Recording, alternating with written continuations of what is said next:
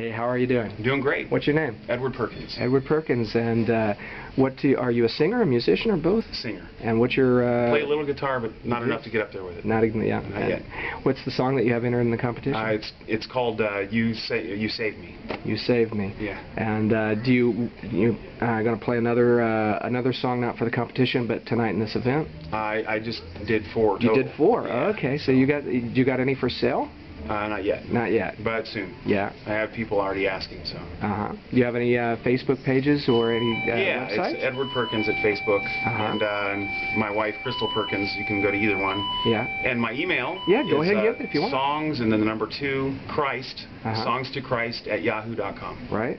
And uh, so, uh, what uh, what got you into uh, Christ, and what got you into music? And did they happen at the same time, or? Uh, no. Uh, I've been kind of a closet singer my whole life. Um, I started singing when I was 32 years old, believe it or not, and it and uh, because I had always sang in the shower and stuff. My wife came in one day and I, I always try to hide it from people because I didn't think I could sing. And and my wife uh, said, "Was that you?" And I said, "Well, yeah, it was." And so one thing led to another. I ended up started I started singing at church and and. Uh, yes. that's kind of where I am there, yeah. Yeah. And uh, you know, I I do write songs. Um, I didn't know I could write a song, but evidently I can. So I've been doing that as well. And how does that process go for you? When do songs come to you?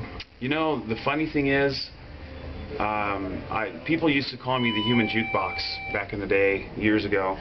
Uh, songs come to me very easy. I can write a song in a matter of minutes, and it's something I can turn on or shut off. I don't have any. I don't read music or anything, but when I'm when I'm writing the music, I'm hearing the background. I can hear the melody as I as I write the music, and it.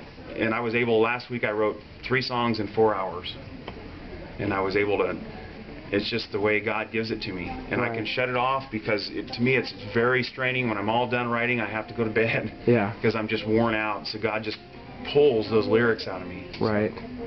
Well, that, thank you for sharing your creative process with us. I'm sure there's a lot of people like me who are interested in that, how that works. So thanks for joining us too, Thank you. and good luck.